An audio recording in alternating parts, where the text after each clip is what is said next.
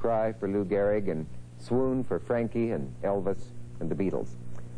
We'll land in Paris with Charles Lindbergh. We'll land on the moon with Neil Armstrong. So you can see it's going to be a nostalgic trip, and if you notice a character who occasionally seems out of place, it will only be me, your escort on a tour through the thickets of history. Our first stop is going to be the 1920s. The 1920s, they called it the, the Roaring Twenties, the decade of jazz and flappers and bootleg booze and ballyhoo and boom and finally bust. Everything about that decade seemed to be bigger than life. And certainly nothing that happened in the 20s affected our lives more than one thing, the motor car. Old Henry Ford could put you into one of these beauties for as little as $300, and your choice of colors ranged all the way from black to black.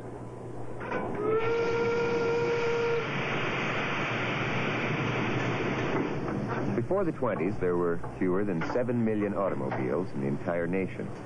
But by using something he called an assembly line, Ford was soon able to mass-produce cars by the millions. The square black Model Ts became as common as tassels on a flapper's chemise. By decade's end, a family that didn't own a car became something of an oddity. A survey in one town showed that three times as many families owned cars as had bathtubs in their homes. The automobile soon became America's biggest business, the moving symbol of the 1920s great prosperity.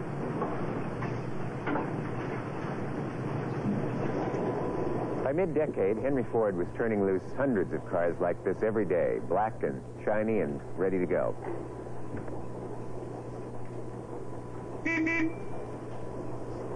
Before long, streets and roads built for horses and wagons became jammed by a mass of roaring gas buggies.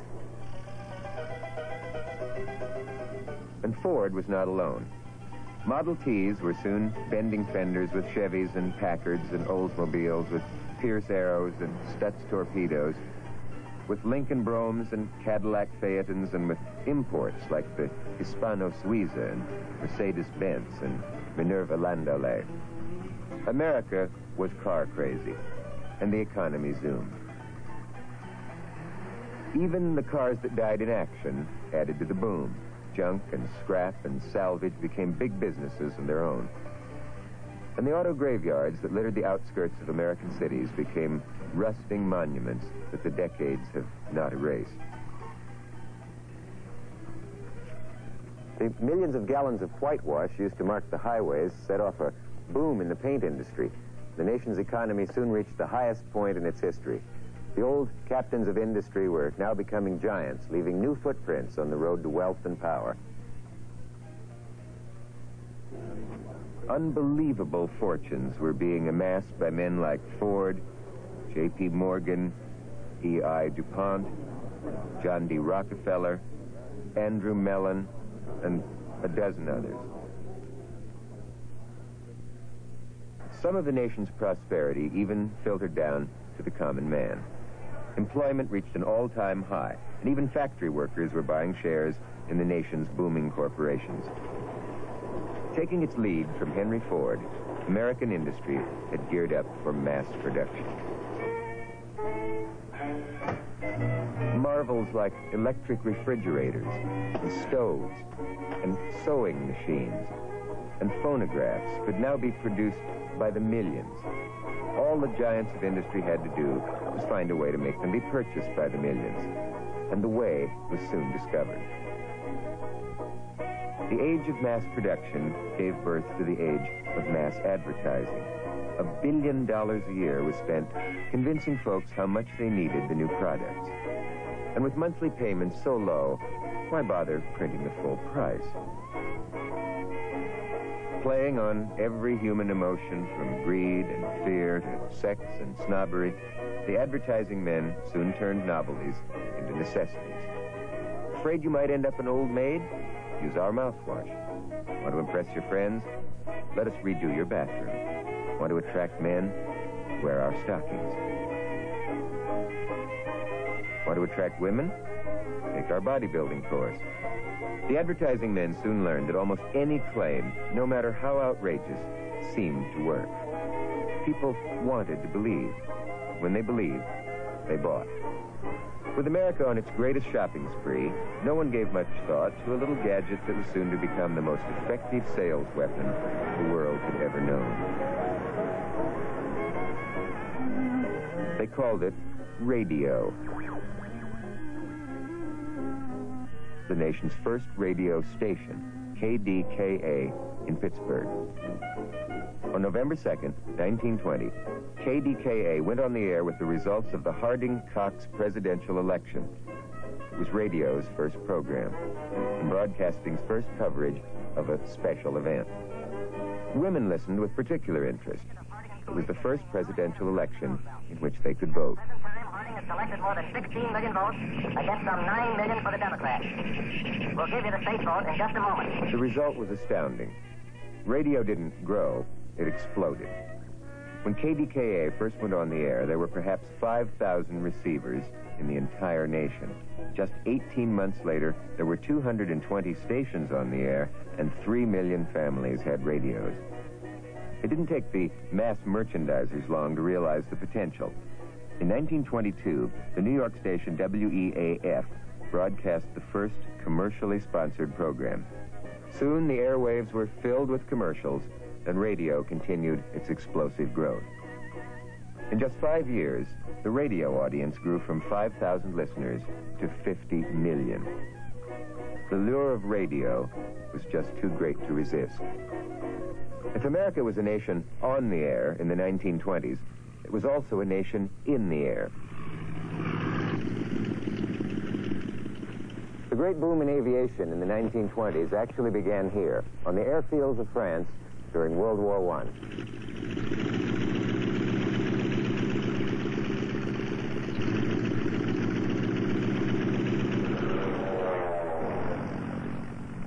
At first, it was not very sophisticated. Precision bombing was still another war away. And the first so-called dogfights were conducted with all the formal courtesies of a duel between gentlemen of a hundred years earlier. But the ugly realities of war soon put an end to all that. Germany's Baron von Richthofen, the so-called Red Baron, shot down more than 80 Allied flyers. And American aces like Captain Eddie Rickenbacker were almost as effective against the German pilots. Thousands of America's young men learned to fly during this war. And when it ended, those who survived had a special skill that had almost no practical value. There was no one left to shoot down. What else can you do with an airplane?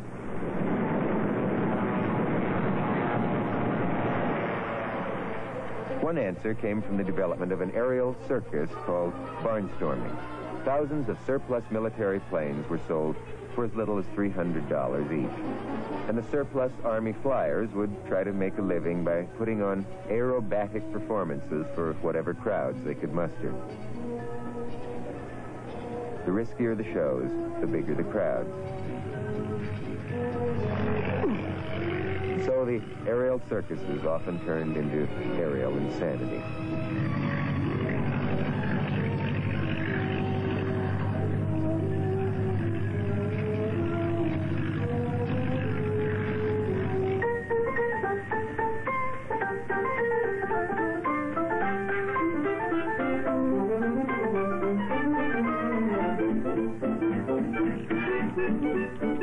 Lose my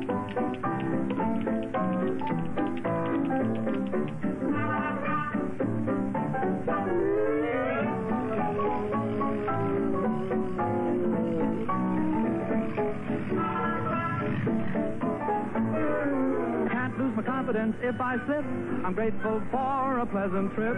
I pick myself up, dust myself off, and start all over again. I'll work like a soul inspired till the battle of the day is won. Though I am sick and tired, I will stick till the job is done.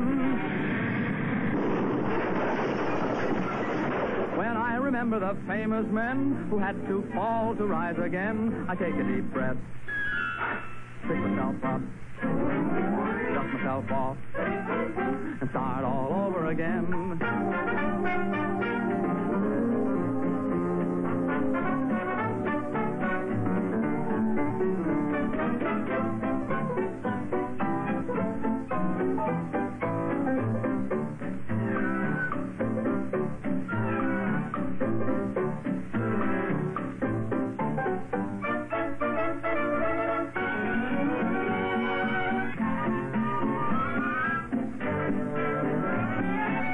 Nothing's impossible I have found. For when my chin is on the ground, I pick myself up, dust myself off, and start all over again. Before too long, however, a way was found to put at least some of this skill and courage to a more practical use. On July 1st, 1919, President Woodrow Wilson was on hand as the first experimental airmail service was begun between New York and Chicago. In 1921, Congress expanded the experiment and hundreds of barnstormers leapt at the chance to make a steady living in the air. But the early airmail service turned out to be just about as dangerous as stunt flying. Of the first 40 pilots to fly the mail from New York to Chicago, 31 were killed in crashes. Nonetheless, the experiment continued. In 1925, Congress approved the Kelly Act, making airmail a regular service. Soon, for the price of one thin dime, a letter mailed in New York could arrive in San Francisco the next day. But the danger was still there An airmail pilot soon achieved the folk hero status of their predecessors from the century before, the riders of the Pony Express. But no hero of either service was ever to capture the imagination of the public the way a 25-year-old airmail pilot from Minnesota did in 1927. They called him Slim, and he flew into history in this tiny monoplane he called the Spirit of St. Louis. Before making his epic flight, Charles Augustus Lindbergh flew the mail from St. Louis to Chicago for $81 a week. He picked up a little extra on weekends barnstorming at county fairs. Just about every barnstormer in those days was aware of the standing offer of $25,000 in prize money for the first nonstop flight from New York to Paris. But not many thought it could be done. Slim thought it could. He got the backing of a St. Louis newspaper and some local businessmen and brought the spirit of St. Louis to Roosevelt Field on Long Island. At 7.52 on the morning of May 20th, his plane overburdened with 451 gallons of gasoline plus a few gallons of coffee and some sandwiches, Lindbergh prepared for takeoff into the overcast skies. Paris was 3,610 miles away. His ground crew doubted that he'd even get off the ground. And if he did, a storm of snow and sleet was directly in his path. Nothing stopped him, and the newspapers changed their nickname for him from the Flying Fool to Lucky Lindy.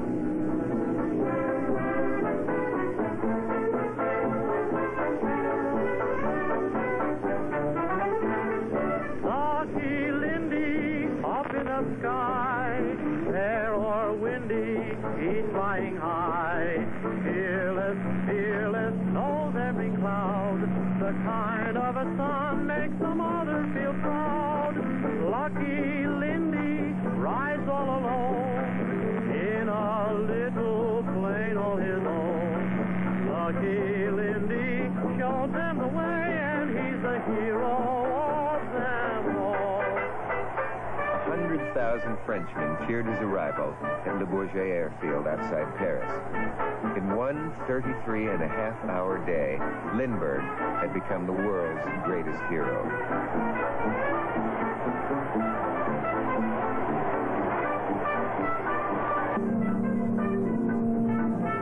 Welcome back to America made his Paris reception look like a small private party.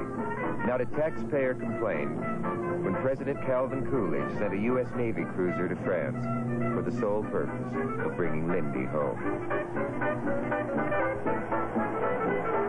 And then, New York City gave Lindy the greatest hero's welcome the world had ever seen. It cost the city $71,000 to stage this ride down Broadway.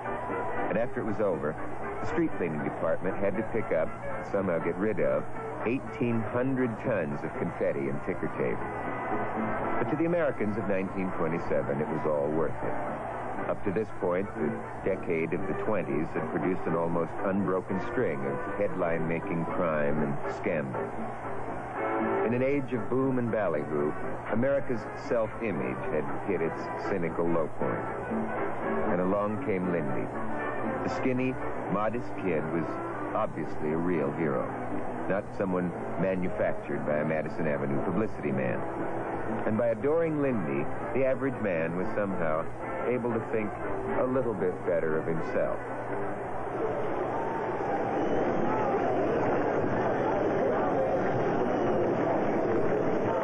President Coolidge topped it all off by presenting Lindbergh with the Congressional Medal of Honor, the Distinguished Flying Cross, and by making him a colonel in the Army. I bestow the Distinguished Flying Cross upon Colonel Charles A. Lindbergh.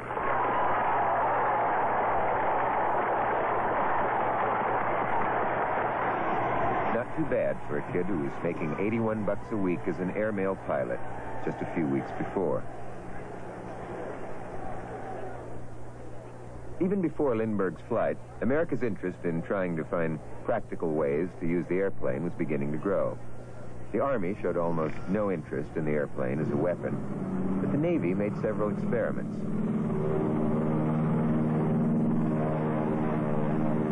The Navy's major interest was centered on lighter-than-air dirigibles. Many experts felt that blimps would make perfect observation platforms for tracking enemy ships and submarines. But a series of disasters involving these airships dampened the enthusiasm of both the Navy and the public. In 1925, the breakup of the dirigible Shenandoah over Ohio caused the death of 14 crewmen. The incident made national headlines and spawned a new wave of negative sentiment toward military air power. And a few years later, the public was shocked by these scenes of two Navy crewmen falling to their death from a mooring line on the Navy dirigible Akron.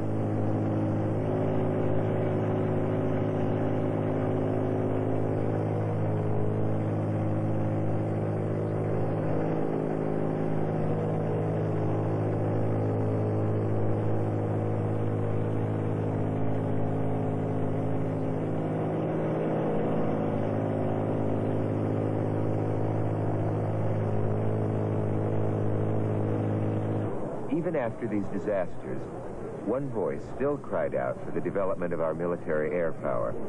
It belonged to Billy Mitchell, General William L. Mitchell, an Army flying officer who believed that the airplane could be America's greatest weapon in time of war. When Mitchell couldn't convince his fellow Army officers, he took matters into his own hands. Using old warships, including battleships, Mitchell trained a group of flyers under his command in the technique of precision bombing. High-ranking observers looked on, including military advisors from foreign powers, Mitchell began his attack.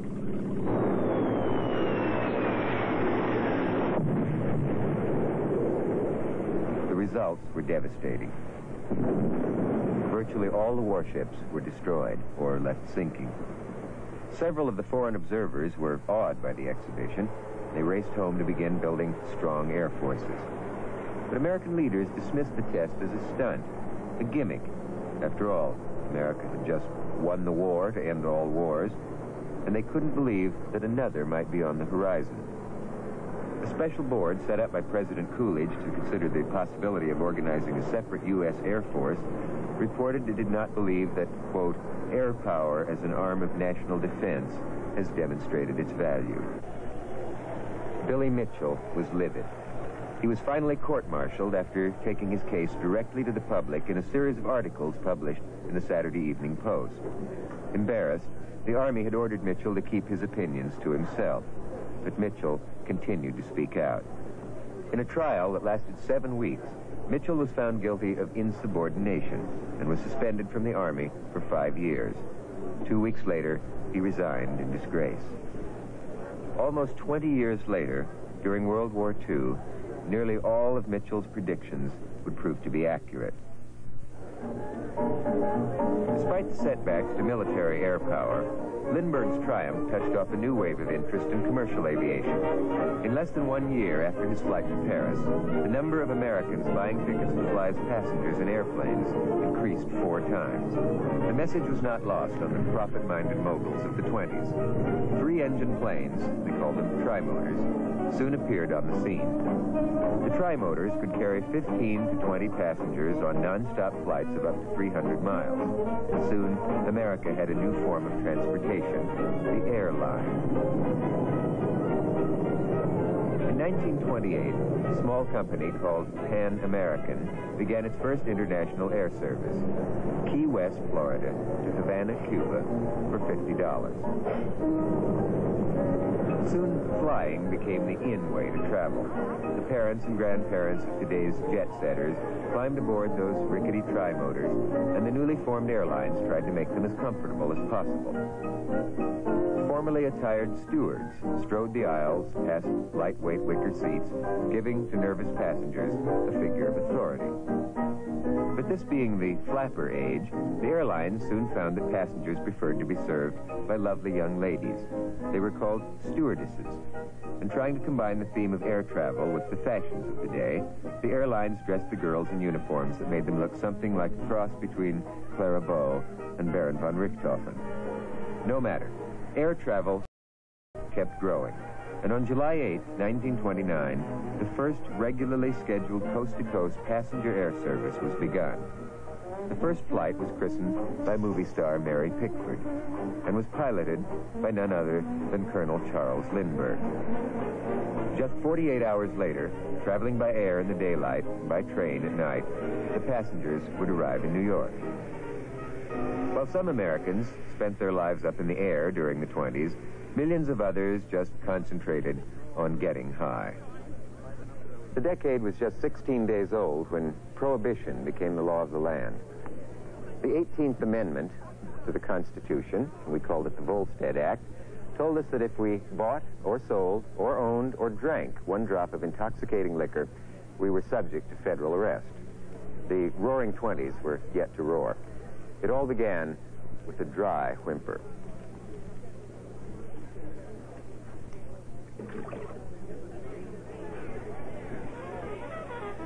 Not that drinking stopped with prohibition, it just became more fun. A knock on the door of a mysterious speakeasy, a whispered, Joe sent me, and pretty soon, prohibition didn't seem so bad after all. During the height of Prohibition, there were an estimated 50,000 illegal speakeasies operating in New York City alone. As writer H.L. Mencken put it, a visit to a speakeasy became not a crime, but a sort of national sport. Soon, more people were drinking than ever before. The classier speakeasies became the places to be seen in. And nothing in Manhattan was more glittering than the speakeasies run by a brash blonde from Waco, Texas, named Mary Louise Cecilia Guinan. Everybody called her Texas, and she called everybody Sucker. Texas had a loud, brassy voice that could slice right through the continual uproar in her saloons.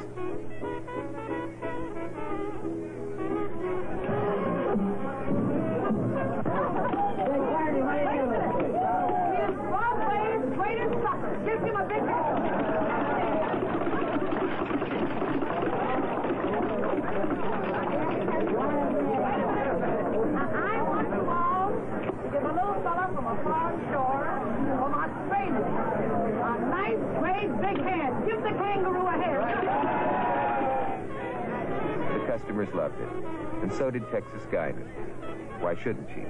They coughed up 25 bucks a piece just to get in, and then another 25 for a bottle of whiskey that was probably diluted with anything from water to hair tonic to God knows what. The customer certainly didn't, and he really didn't want to. Despite the new law, barrels of booze and beer rolled into the dry nation at an increasing rate. The docks in nearby ports outside the United States became jammed with millions of gallons of bootleg liquor. Thousands of private boats became rum runners, and they were joined by convoys of trucks carrying whiskey into the country from Canada and Mexico. Federal agents were able to stop a bit of it, but it was really a hopeless job. Fewer than 2,000 agents had to patrol the nation's 18,000 miles of coastline and borders. In the end, they were able to stop only 5% of the illegal booze from entering the country. Even those who were arrested usually were punished with not much more than a fine. That corruption in high places was rampant. And in the days of Prohibition, no place was more corrupt than Chicago. Crime was nothing new to Chicago, but the explosion of violence that occurred during the 20s was later described as, quote, the worst outbreak of urban criminal violence in the history of the world. During the gang warfare of the decade, well over 5,000 racketeers shot each other down or blew each other up, most of the time on busy streets in broad daylight. A man named Johnny Torrio was already a leader of Chicago's underworld when Prohibition began. Realizing he'd need some help, Torrio sent for a bright young kid named Al, whom he knew from New York. It turned out to be one of the best decisions in the history of personnel management. The kid arrived, and Torrio gave him some respectable-looking business cards that read Alphonse Capone, second-hand furniture dealer. Within a few weeks, furniture dealer Capone rounded up a sales force of 700 men, all of them experts with Tommy guns or sawed-off shotguns. It was one hell of a sales force, but in Chicago in those days it was almost a necessity. After all, the competition was a bunch of guys who had no necks and went by names out of a bad movie. Guys like Gimpy O'Banion and Bugs Moran and Machine Gun McGurn and Little Hymie Weiss and Polak Joe Saltis. The main competition came from Gimpy O'Banion, a one-time altar boy who controlled all the speakeasies on Chicago's north side. Capone and Torrio had the south side. O'Banion's front was a florist shop, and he got rich supplying flowers for gangsters' funerals. He also supplied a few of the bodies. It was a nice life for O'Banion, but it all came to a violent end one day when a couple of hoods gunned him down in his own store. O'Banion would have loved his own funeral. A $100,000 worth of flowers covered or surrounded his $10,000 casket. And 20,000 friends showed up to mourn.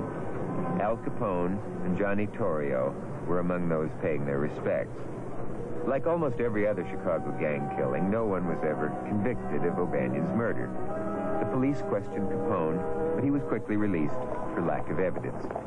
All I know, Capone told the cops, is that somehow the man's head got separated from his hat. With O'Banion out of the way and Torrio retired to a Mediterranean pasta farm, there wasn't much to slow down Alphonse Capone's second-hand furniture business. He soon controlled all of Chicago and most of Illinois. He owned mayors and governors and police departments. He controlled most of the bootlegging from Canada to Florida. Capone's biggest headache now was a rival gang leader named Bugs Moran. Bugs had been a close pal of Gimpy O'Banion and never forgave Capone for what happened to O'Banion. What happened next is still mostly conjecture some half century later, but it probably went something like this. Capone told his number one gunslinger, lovingly known as Machine Gun Jack McGurn, to get Bugs off his back. McGurn complied with the decade's most outstanding examples of creative gunmanship. Dressing himself and some friends in phony police uniforms, McGurn caught the Moran gang awaiting a shipment of bootleg whiskey in a Chicago garage. They lined up Moran's seven top men against a brick wall and opened fire with their Tommy guns. It was St. Valentine's Day, 1929. There were no survivors, and of course, no arrests. Bugs Moran never bothered Capone again, but the St. Valentine's Day massacre shocked the nation. In Congress, it was suggested that the Marines be sent to Chicago to reestablish law and order. But that never happened, and Capone continued to lead the good life. And why not? At the height of his career, Capone's income for one year looked something like this. Bootlegging and speakeasies, 60 million. Gambling, 25 million. Prostitution, 10 million. Assorted rackets, 10 million. Total income for one year, $105 million. Seven years before, when he started in Chicago, Capone was making 75 bucks a week. Unfortunately for Al, the government finally noticed that he forgot to pay any income tax on all those millions. And so the man who most likely ordered the deaths of some 500 people was sent to jail on six counts of income tax evasion. He died a decade later, a sick and broken man. The saga of Al Capone was not an isolated incident. The 1920s were filled with sensational crimes and trials. Perhaps the most significant concerned not murder or corruption, but a misdemeanor with a fine of $100 at stake. Even the location was obscure, the drowsy town of Dayton, Tennessee. 24-year-old schoolteacher John T. Scopes was indicted for teaching his class Darwin's theory of evolution rather than the story of creation as told in the Bible. In Tennessee, that was against the law. Clarence Darrow, the greatest criminal lawyer of the decade, was called in for the defense. And the prosecution was headed by another giant, William Jennings Bryan. Bryan had been the Democratic candidate for president three times and Darrow had supported him. But here they clashed in a mortal struggle in a sweltering courtroom. Bryan claimed that he had a literal belief in every word of the Bible, and Darrow's plan was to show that this was absurd. Years later, the dramatic scene was recreated in the play and then the motion picture Inherit the Wind.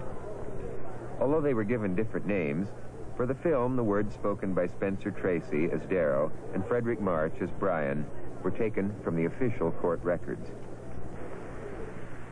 The Bible is a book. It's a good book, but it is not the only book. It is the revealed word of the Almighty God. Spake to the man who wrote the Bible. How do you know that God didn't speak to Charles Darwin? I know because God tells me to oppose the evil teachings of that man. Oh, God speaks to you? Yes. He tells you what is right and wrong? Yes. And you act accordingly? Yes. So you, Matthew Harrison Brady, through oratory or legislature or whatever, you pass on God's orders to the rest of the world. Well, meet the prophet from Nebraska. I- I- I is agree. that the way of things? Is that the way of things? God tells Brady what is good. To be against Brady is to be against God. Each man is a free agent. Then what is Bertram Cates doing in a Hillsboro jail? Must a man go to prison because he differs with the self-appointed prophet? Extend the testaments. Let us have a book of Brady. We shall hex the Pentateuch and slip you in neatly between Numbers and Deuteronomy. Now, my friends, Your Honor. the witness, my, my followers, ladies and gentlemen, the witnesses Oh, excused. you know what I stand for. What I believe. I believe in the truth of the book of Genesis. Exodus, Leviticus, Numbers, Deuteronomy, Joshua, Judges, Ruth, First Samuel, Second Samuel, First Kings, Second Kings, Isaiah, Jeremiah, Lamentations, Ezekiel. Court is adjourned. The jury voted with Bryan, but his dignity was shattered. He died just six days after his ordeal on the stand. For the vast majority of Americans, those who were never involved in the great crimes and trials of the decade, it must have all seemed just a bit unreal. Ironically, many of our realities came from the world of make-believe. In the 1920s, the motion picture captured the imagination of the world, and the shining stars of the silver screen seemed to become more real than any lawyer or criminal from the pages of a newspaper.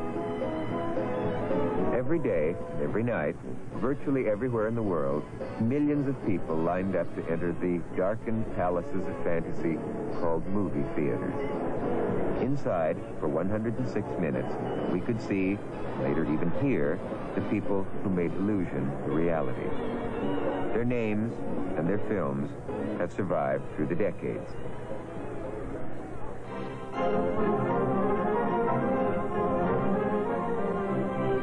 After seeing Douglas Fairbanks as Robin Hood, a million girls would have given their all to be Maid Marian. Million red-blooded young men would have done the same to share with Pearl White the perils of Pauline.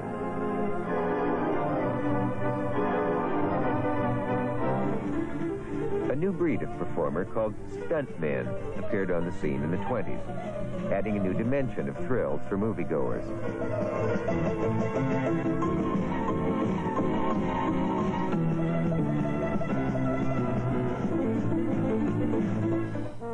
The great screen comedians could make us laugh and cry without a single word. Men of genius like Charlie Chaplin. and Buster Keaton and Mack Sennett, and Harold Lloyd.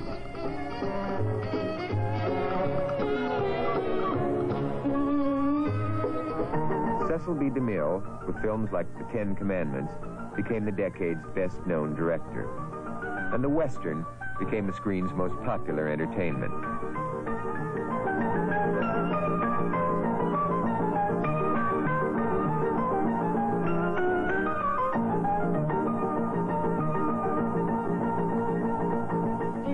Greta Garbo and John Barrymore could do a love scene that was awfully hard to forget.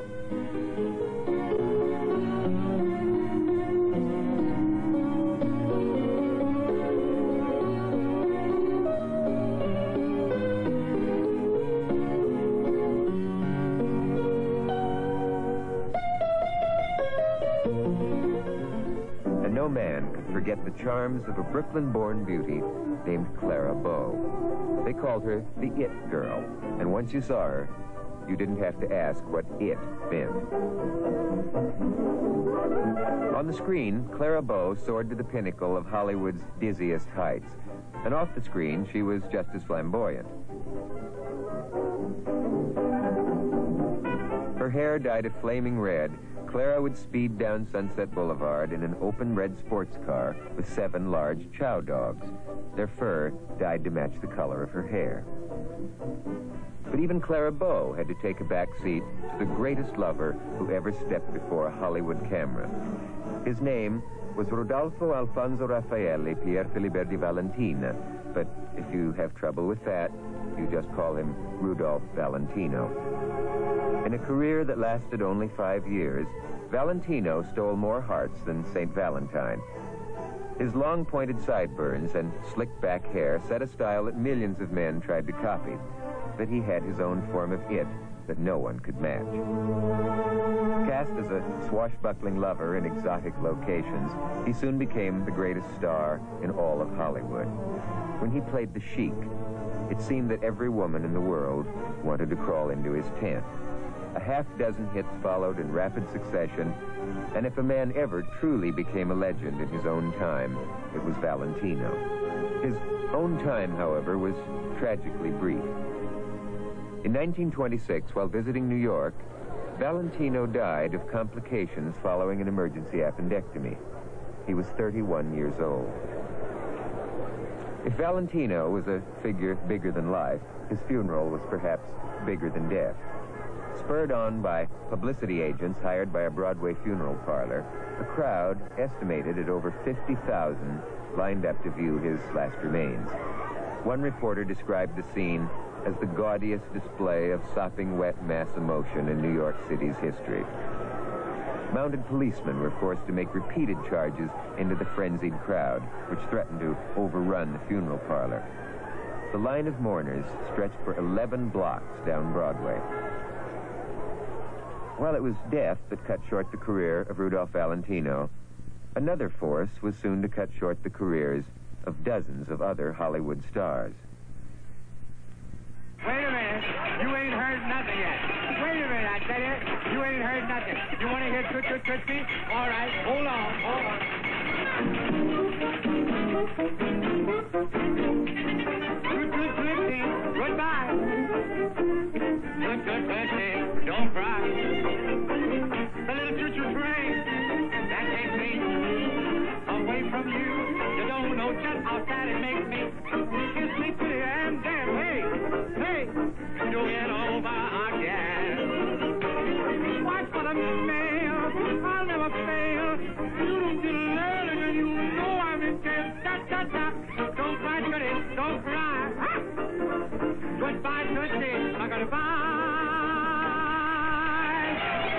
Suddenly, the movies could talk.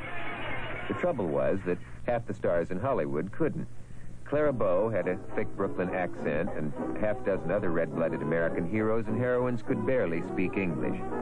And some of those who could had voices that rivaled a fingernail screeching down a dry blackboard.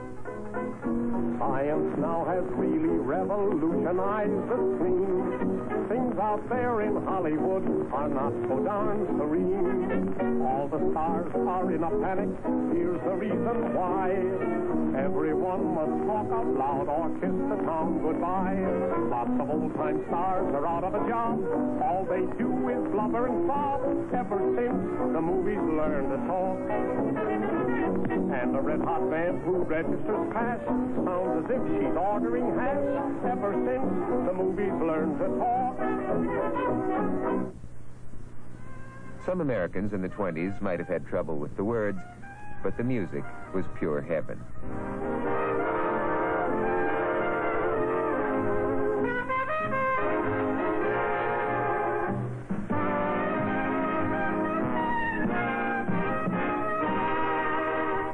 The notes floated up the Mississippi like a spring migration.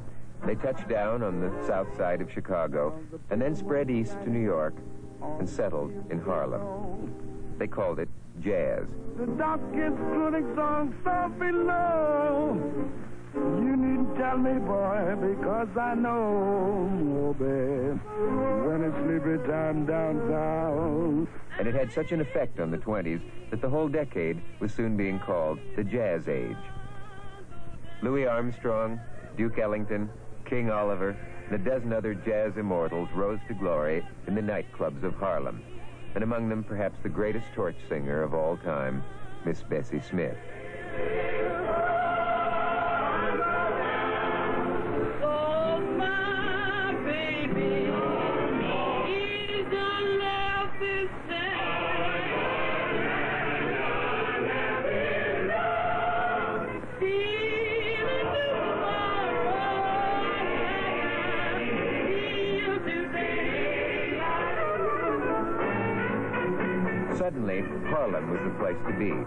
Night spots like the Cotton Club and Connie's Inn and the Savoy and a dozen others became the center of Manhattan's nightlife.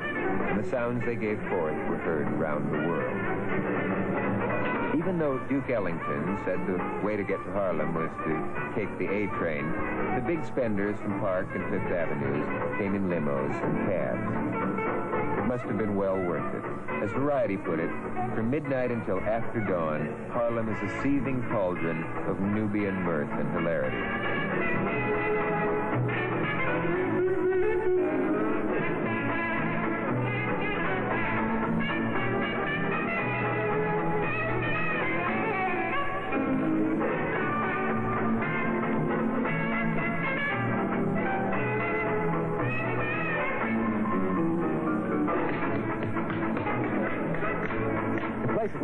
Sound of jazz mixed with a touch of bootleg hooch seemed like a sure cure for prohibition's inhibitions. If a flapper wanted to flap out to Charleston, what better place than Harlem? Hmm?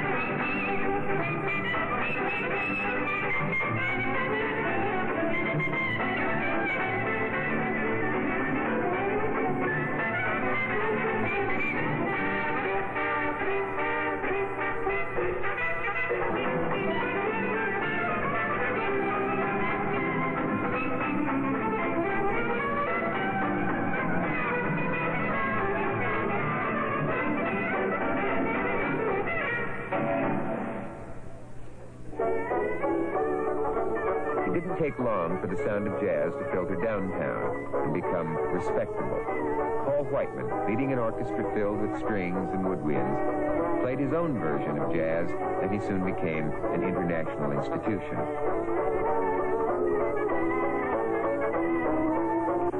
And composer George Gershwin joined in the jazz age with a score of melodies that have become classics.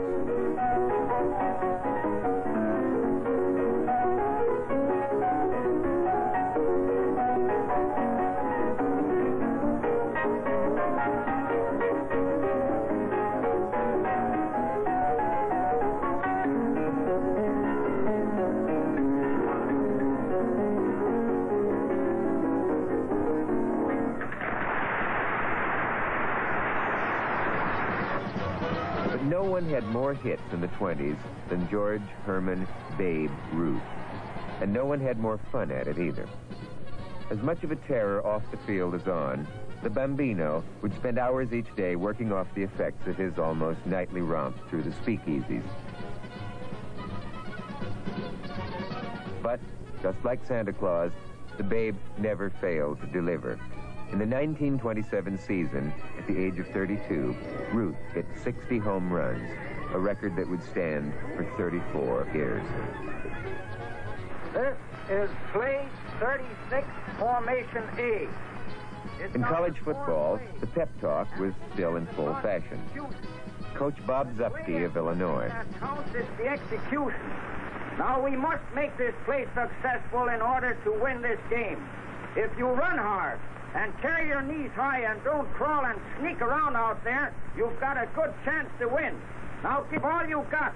And if you're ready to go, let's hear it. Rise up, we'll take care of it. Come on, oh, oh, oh, With a player like Red Grange on his team, a pep talk was a bit of an anticlimax. In 1924, Grange started as a sophomore for Illinois against a powerful team from Michigan.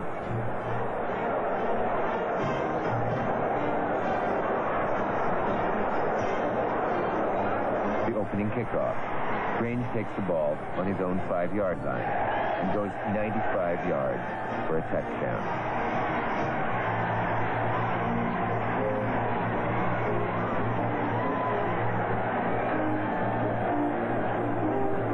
Illinois holds the Wolverines and takes over the ball.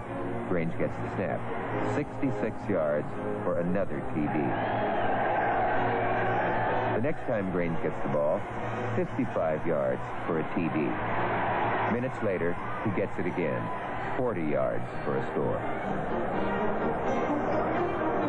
In the game's first 12 minutes, the Galloping Ghost has scored four long touchdowns the first four times he carried the ball. At the end of the first quarter, they gave him such an ovation that the start of the second was delayed for five minutes. Grange was so affected for the rest of the game, he was able to score only one more touchdown and throw a touchdown pass. Unbelievable as it might seem, Red Grange had to share his headlines in 1924 with another football hero, and a balding middle-aged one at that. In 13 years as football coach at Notre Dame, Knute Rockne was to lose only 12 games while winning 105. Perhaps more than any other coach in history, Rockne was able to make his players believe that football wasn't everything. It was the only thing. There's been a lot of objections to spring football, and I, I object to it myself because I, I can see what interferes with your necking and drinking. But your folks have written in and want you to play pretty much in the afternoon, so in the evening you'd be tired enough to stay home and study. But uh, I don't want anybody here to come out for spring football who don't want to. As a matter of fact, I don't want spring football unless you do. Now, uh, all those in favor of coming out for spring football, those who insist on having football, insist on having Hunk and Shavin, Vadish, and I uh, take charge of this spring, will all signify by saying aye. Rockne's greatest victory came in the 1924 upset of a powerhouse team from Army. Rockne's win inspired Grantland Rice, one of the great sports writers of the 20s, to compose what is perhaps the most famous sports report ever written. In this poetic manner, Rice praised Rockne's Notre Dame backfield. Outlined against the blue-gray October sky, the four horsemen rode again. In dramatic lore, they are known as famine, pestilence, destruction, and death. Their real names, however, are Stuhldreher, Miller, Crowley, and Layden. They form the crest of the South Bend Cyclone.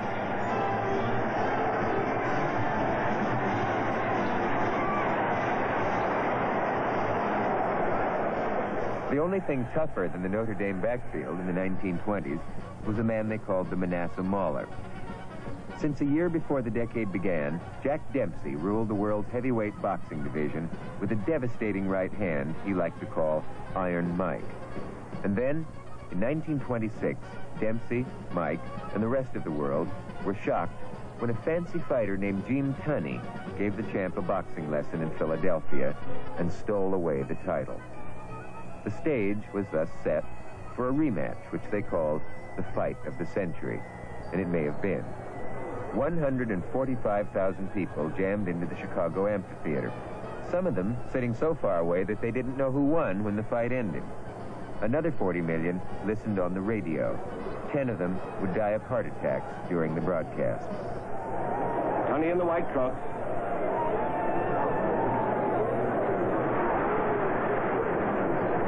Lot depends on Dempsey's legs tonight. Tunney is much faster than Dempsey. Tunney is down. Referee Dave Barry motions Dempsey to a neutral corner. Now let's take a closer look at all the action in slow motion. This is the historic long count. Dempsey lashes out like the old Manassa Mauler. Tunney hits the canvas. Official knockdown timekeeper at ringside starts the count. But referee Dave Barry ignores him, and instead he tries to make Dempsey understand that he will not start the count until Dempsey goes to the farthest neutral corner. That's the Illinois boxing rule. Dempsey finally obeys, and then Barry starts the count. The Dempsey fans here at ringside are furious. They're claiming that Tunney was down four seconds before the count was started. But the Tunney fans say the count has nothing to do with it. Tunney can get up any time. He's watching the referee and listening to the count. He's staying down only because he wants to take full advantage of the count. By the time the famous long count was over, Tunney regained his senses and went on to keep the title. All in all, the 20s was an age of exhibitionism. In events like this, it was a lot safer to watch than participate. But some people felt compelled to walk that fine line between performing and, and insanity. Uh, for some reason, most of the daredevils managed to survive as long as they made sure to watch that first step.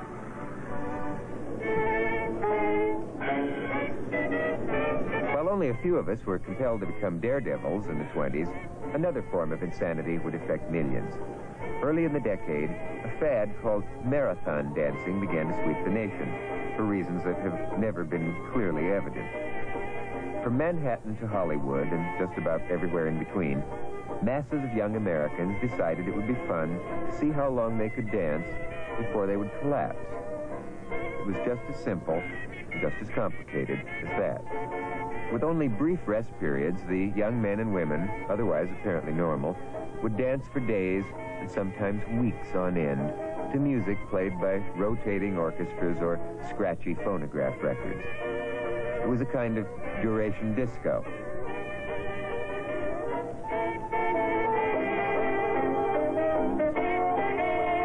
And if for some reason you felt you had to get married during a contest, well, just keep those feet moving and kiss the bride.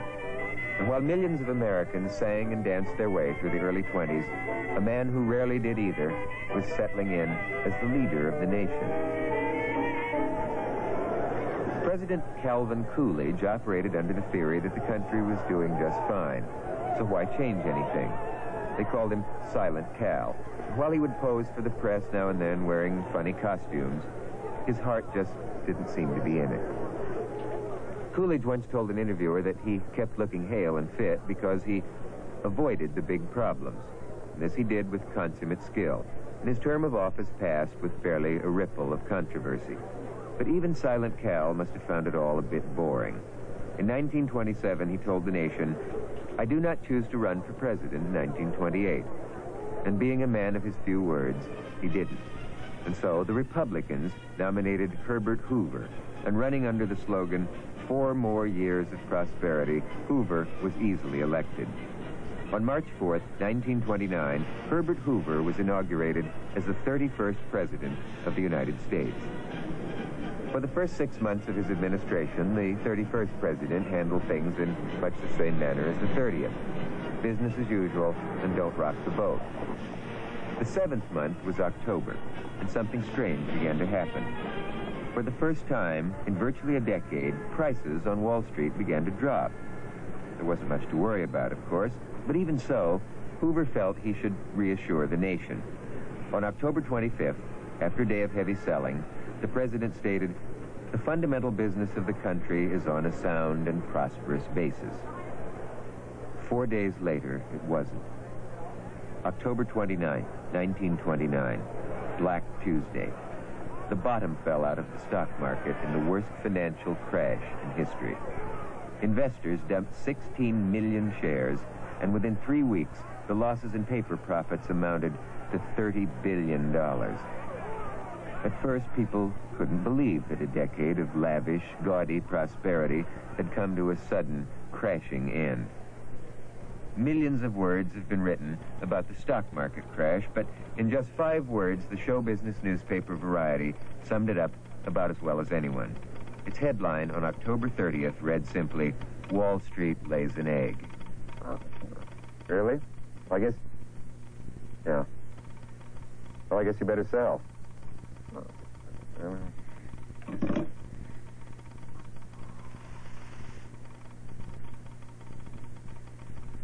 Almost overnight, America's great post-war fling came crashing with the stock market to a tragic conclusion. The roaring 20s, a decade of giants, had come to an end. The 20s were over, and now America faced the prospect of having to pay the bill for all of its high living. That bill became due and payable in the 30s. But as we shall see on our next program, America reached into its pocket and found it empty. Until then, I'm Dick Cavett. Thank you, and good night.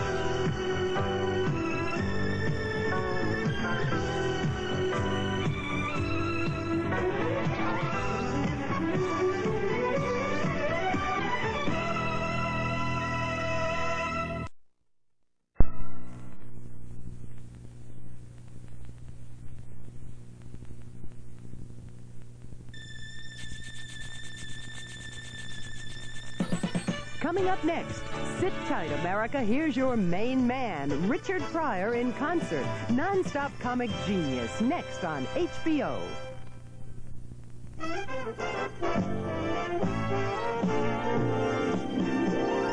Friday, fun and adventure for the whole family. America's favorite collie is back, but someone wants to take her away. Please don't take Lassie away from these children. If you force me, I will go to the police and get her legally.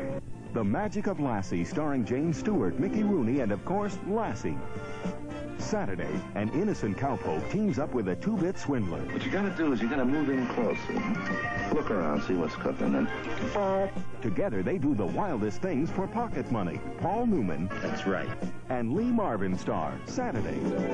Sunday, they drift toward Earth. They adapt and survive. From space, the seed is planted. It's got no tail, no character. It's unformed. People are being people are being duplicated. You're looking at it as if it was human. It was not human. Donald Sutherland. Adams and Leonard Nimoy are caught in the invasion of the body snatchers on HBO this weekend. You're watching Home Box Office. The following program contains language and situations of an adult nature. Some material may not be appropriate for younger viewers. Parental discretion is advised. The